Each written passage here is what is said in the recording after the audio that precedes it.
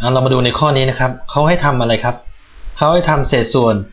บรรทัดทั้งบนนี้ทั้งหมดนี้นะครับ ให้เป็นทศนิยมนะครับ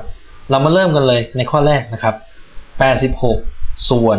100 นะครับ เมื่อเราเห็นอย่างนี้ปุ๊บเนี่ยเราทำไงครับ ถ้าเป็นทศนิยมนะครับ ถ้าเราจะแปลงเป็นทศนิยมเราเราก็เริ่มจากการนับเลขศูนย์ข้างล่างนี้ก่อนเลย 1 ตัว 2 ตัวเห็นไหมครับข้างล่างเนี่ยเป็นเป็น100 มีเลขศูนย์อยู่ 2 ตัว เพราะฉะนั้น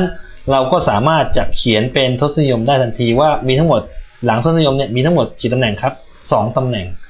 นะครับ เพราะฉะนั้นเมื่อเรารับนับได้สองตัวด้านหลังมาเขียนเป็นทศนิยมได้สองตำแหน่งเราก็เอาเลขมากรอกนะครับ เลขตัวแรกก็คือเลขหลังแปดหกข้างหน้าใส่ศูนย์นะครับ ก็จะได้เป็นศูนย์จุดแปดหก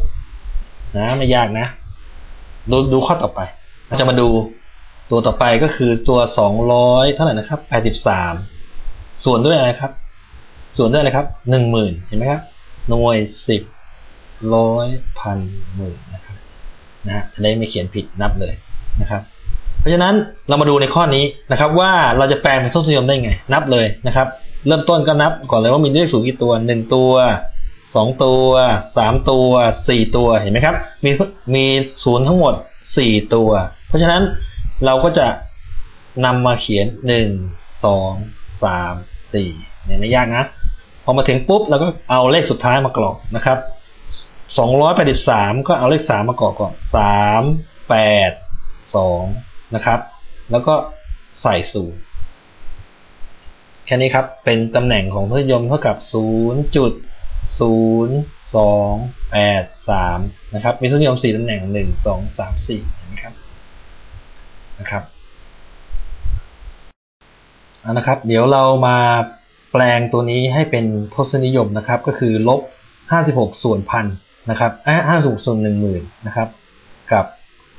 เอาเอาตัวแรกก่อน ลบ 56 นะครับ ส่วนด้วย1 0,000หน่วยสิบร้อยพันนะครับลบ 56 ส่วน1 0,000เดี๋ยวเรามาแปลงให้เป็นทศนิยม เพราะฉะนั้นเราจะเริ่มจากอะไรครับ เราจะเริ่มจากการนับทศนิยมตรงนี้ก่อน ดูซิมีกี่ตัว1 2 3 4เรารู้แล้วว่าตอนนี้ทศนิยมมีกี่ตัวครับ4ตัว เพราะฉะนั้นเราสามารถแปลงเป็นทศนิยมได้ทันทีนะครับ ก็คือจะมีทศนิยมหลังตำแหน่ง หลังตำแหน่งทศนิยมนี้ทั้งหมด4ตัว1 2 3 4นะครับ แล้วทำไงครับ เอาตัวเลขมากรอเริ่มจากเลขหน่วยหลักหน่วยที่6นะครับ5ใช่ไหมครับ แล้วไหนอีกครับ ตรงนี้เป็นศูนย์ 0 0 0เครื่องหมายเป็นลบนะไม่ยากนะ ต่อไปครับ อันนี้ตอบได้เลยว่า 56 ส่วน 10,000เนี่ยถ้าแปลงเป็นทศนิยมก็ลบ 0.0056 นะครับ ต่อไปนะครับมาดูที่ตัวนี้นะครับลบเท่าไหร่นะครับ 75คอมมา362 นะครับ ส่วนด้วย 100 แปลงเป็นทศนิยมทำไง นะครับเหมือนเดิมนะครับง่ายๆนะครับ เริ่มจากนับก่อนหนึ่งสองเห็นไหมครับ มีทศนิยมได้ทั้งหมดกี่ตำแหน่งครับสองตำแหน่งเห็นไหมครับ มีหมดสองตำแหน่ง เพราะฉะนั้นเราก็จะได้ทันทีนะครับว่า หลังจากชุดนิยมไปแล้วมีทั้งหมดสองตำแหน่งนะครับ เดี๋ยวเรามาเริ่มเขียนกันเลยนะครับมาเริ่มเขียนกันเลยโดยโดยนับจากตำแหน่งหลักหน่วยมาใส่ก่อนนะครับสองหกเห็นไหมครับ ต่อไปตัวอะไรครับสามอะไรครับห้าแล้วก็เจ็ดเห็นไหมครับนะไล่ไปจากหลักหน่วยไล่ไปนะครับเครื่องหมายเป็นลบนะครับ เพราะฉะนั้น